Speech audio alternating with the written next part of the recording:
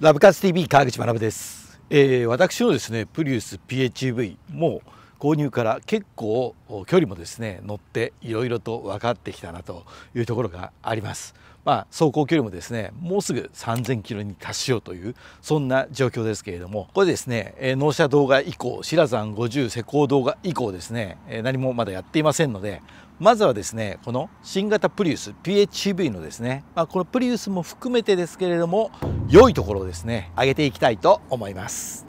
本当にだからガソリン使わないなという印象が僕はね長く乗ったんですけどむしろ逆ですね。邪魔にはならないんだなと思ってトヨタ様に申し訳ございませんでしたと。で良いところなんですけれども室内側で見ていくとこの PHEV はやっぱり装備が豊富というのが一つポイントですよねご覧になっていただいて分かりますようにはいアダプティブハイビームも標準で備わってますしステアリングヒーターも備わっております。さらにエアコンのところを見ていくとこのようにシートのベンチレーションもついてますし当然シートヒーターもついているということですね。この辺りの装備の豊富さというところが一つポイントになってくるのかなというところですね。さらにこちらご覧になっていただいて分かりますようにスマホのワイヤレスチャージャーがこれ横置きのものなんですけれどもここにスイッチがあってですねこれスイッチオンしてでこれをですねはいスマホを入れると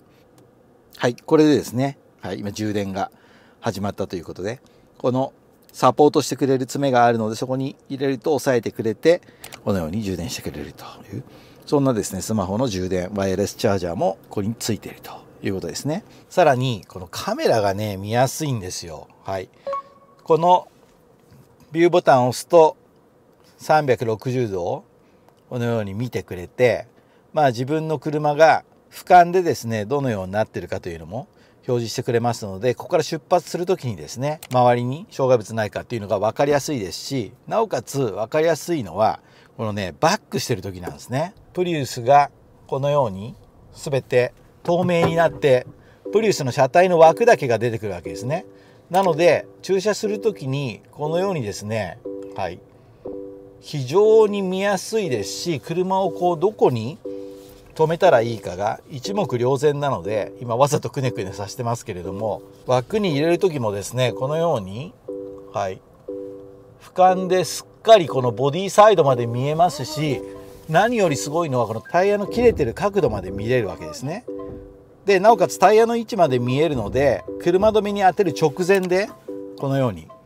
止めることができると。で今実画像じゃなくなっちゃいましたけれどもこれでですね止めて、はい、で見てみるとこのように直前で止めるようなそんなこともできるというわけでカメラ表示すっごい便利だなというふうに思います。とやはり便利なのはこちら、はい、AC100V1500W が備わっているということでこれがですねやっぱり室内側にあるのでここでですね PC の充電なんかも使えますし、まあ、1500W までなのでそれこそドライヤーとか電子レンジとかも使えるということですし非常時の給電にも使えるというのがポイントになってきますよね。加えて、はい、AC100V1500W はラゲッジ側にもありますのでこちら側からももちろん使えるとさらにまだ袋から出してないですけれどもこのビークルパワーコネクターがあるのでこれをですねここに挿してでここにコンセントがですねつなぐということもできるというそんな便利な機構もありますしなおかつですねリアのこのウィンドウにはめるアタッチメントがあるんですけれども室内のコンセントからコードを出してここだけですねコードの穴を通せるようなそんなですねものもあるということでこれも非常に便利でございます。さあプリウス PHEV まず良いところのですね最も大きな部分といえばもうほぼ電動駆動で走っているということですねなのでもう電気自動車と変わらないというところが一番いいところです。まあ今もですね、近所走ってるだけですので、家からですね、コンセントから外して走ってきましたけれども、まあ航続距離がですね、その時でだいたい85キロエアコン使用状態でも85キロ走れますよというふうに出てました。なので日常使いしてるとですねほとんどがもう電気で走れるというのは相当に大きなメリットです。実際にですね今走行距離2786キロそして2ヶ月半ぐらい乗っていて、えー、この間にですね給油したのは納車された次の次の日に満タンにしたわけですね4月に。でその後ですね5月は1回も給油してません。でさらに6月の頭に1回給油してということですね。まだ2700キロで2回しか給油してないということになります。なので、この辺りのですね、平均燃費で見ると、まあ、ほとんど電気で走ってたということもあってですね、リッター60キロを少し切るぐらいの、そんな数値になっているということで、このね、電動走行は魅力ですし、今走っていて分かりますように、電動モデルの静かで滑らかで力強いが存分に感じられるところがですね、このプリウス PHEV のいいところの代表と言える部分になります。なのでもう本当にガソリンスタンドに行くのは洗車の方が機会が多いですよね。洗車するためにだけに行ってるということが多くて。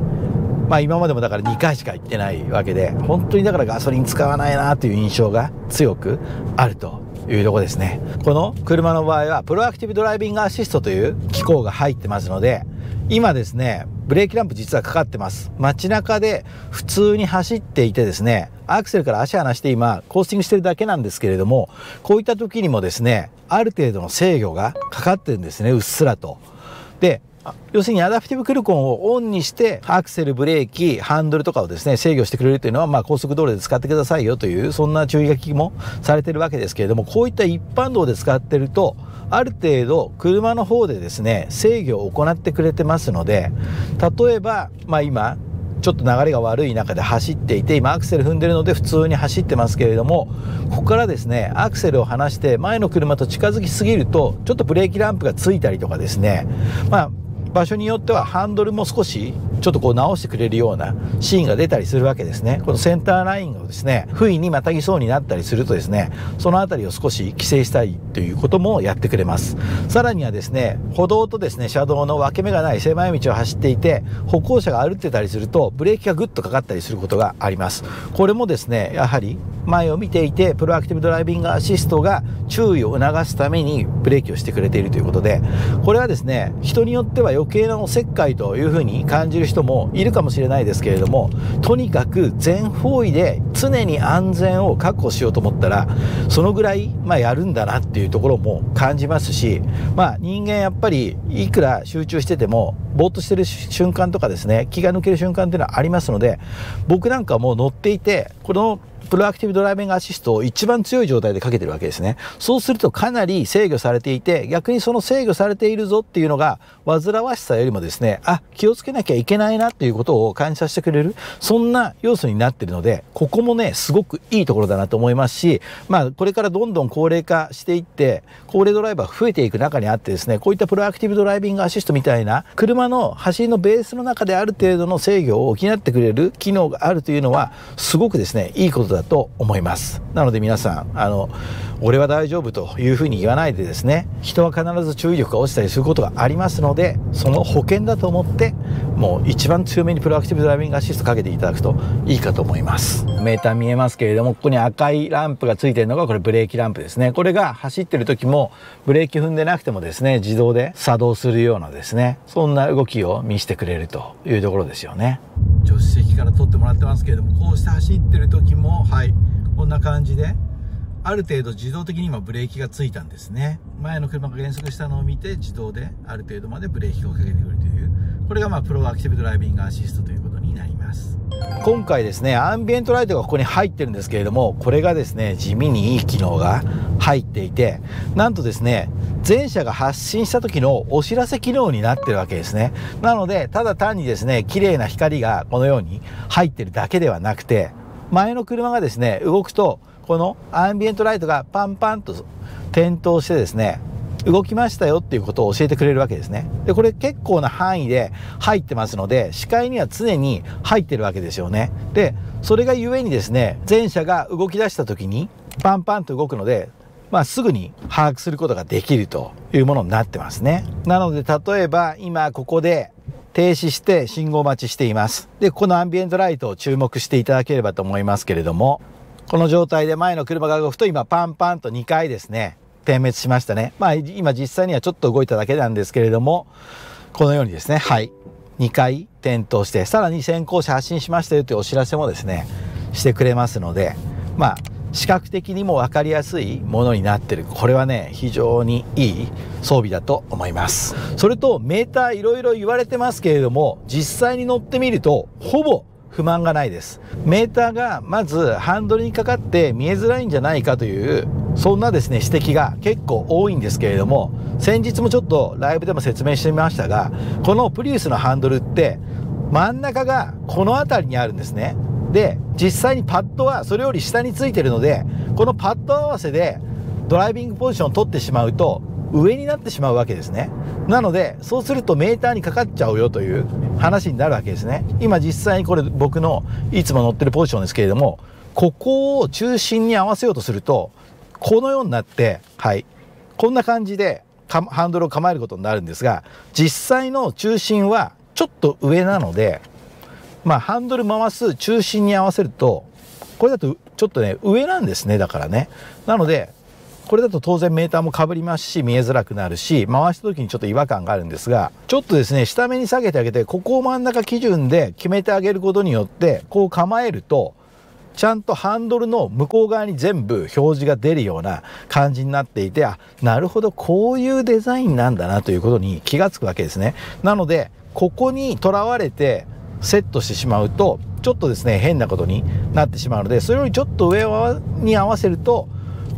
メーターもしっかり見えますしハンドル回した時の違和感もないということですよね。メーターがですねハンドルに隠れずに一応こう表示されてそれでもメーターの表示が小さいだろうという指摘もですね結構あったりするんですけれども実際に走ってると、まあ、スピードメーターの数字がでかいので全然悪くないですし航続距離なんかに関してもですねあの小さな文字で出てるわけですけれどもまあおじさんぐらいの老眼の人だとこのくらいの位置でこのぐらいの文字の大きさで全然 OK というですねことがやっぱり起こってるわけですね。本当に気にならないというところですよね。で表示情報もっとあった方が確かにいいですし表示画面がもっと大きければそれはそれで嬉しいんですけれども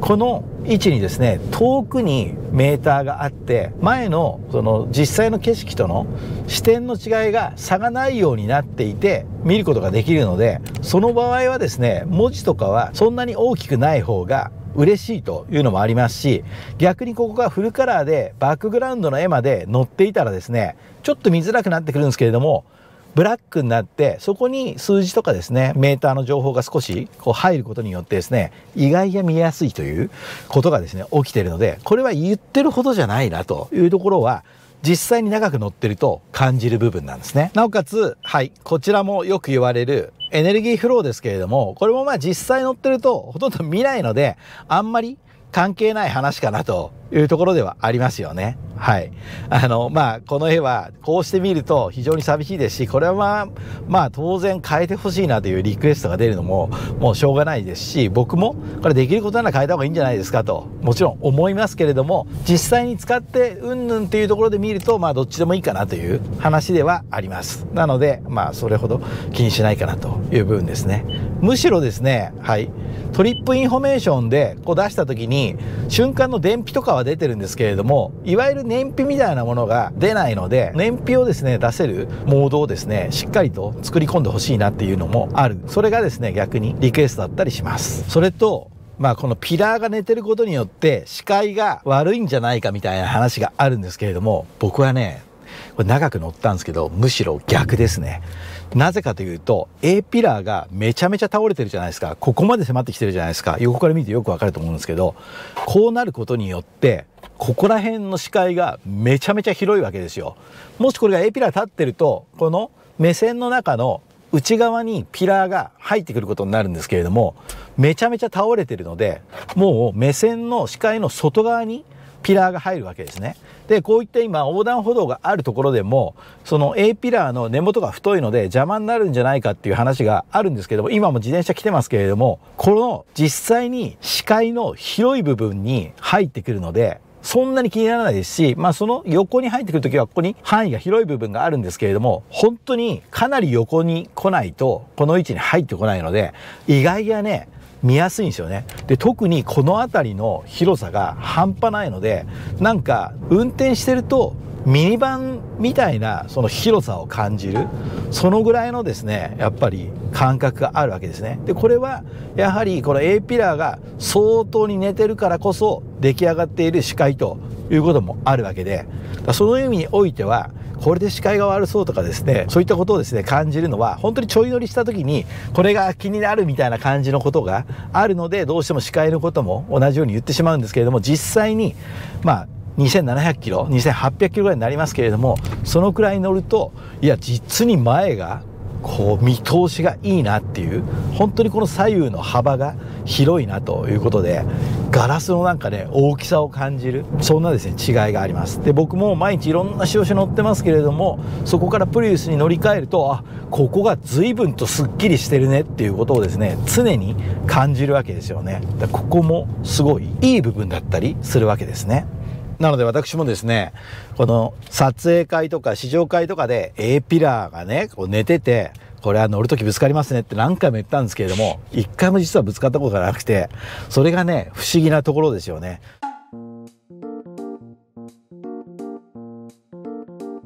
もうここに立っている時点で僕の胸ぐらいの高さなんですよね。なのでかなり低いです。乗り込むとかなりここが気になるというのが特徴ですなので確実に頭はこう斜めにしないと乗れないというところはあるのでこれはですねちょっと気になるところではあるかもしれないですね。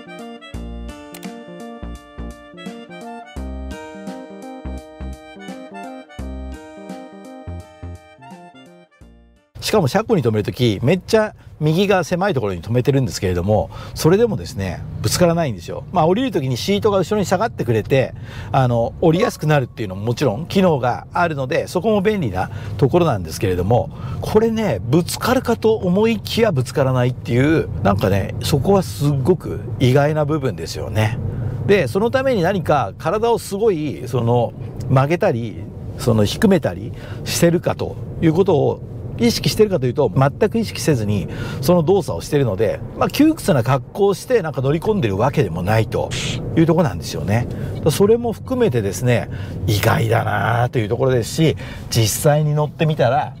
邪魔にはならないんだなと思ってこの辺りはですねトヨタ様に改めて試乗会撮影会の時に、えー、ピラーが邪魔になると言って申し訳ございませんでしたとお伝えしておきたいところです。なので A ピラーそしてこのメーターが邪魔になるとかならないとかっていう話はですねまあ本当にちょい乗りした人の印象と考えていただければいいと思います。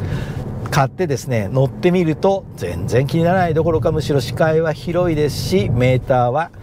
ちゃんとですね見える位置にあるしというところですね。それとこれはいいところですけれども基本的に電動駆動が多いのでこのように静かでそして滑らかで力強いというのをですね日常的に感じることができるというのが大きなポイントになります。はいというわけで今回はですねこのプリウス PHV のですね良いところこれをですねご覧になっていただきました実際に使ってみるとですね試乗の時にはちょっとこれどうかなと思ってた部分がですね意外にいい部分になっていたりとですね思いもよらぬ結果を生んでいたのかなというところでございますまあこちらもですね購入時そして試乗時なんかでですね皆さん、えー、参考にしていただいてチェックしていただけるとよりこうイメージしやすくなるのかなというふうに思いますのでお役に立てたら嬉しいです。というわけで最後までご覧いただきどうもありがとうございます。チャンネル登録いただければあなたの次の愛車が見つかるかもしれません。そしてラブカース TV で取り上げてほしい車企画ございましたらコメント欄にリクエストいただければと思います。そしてこの動画への高評価、いいねの方も合わせてよろしくお願いいたします。それではまた別の車でお会いしましょう。ラブカース TV 川口学でした。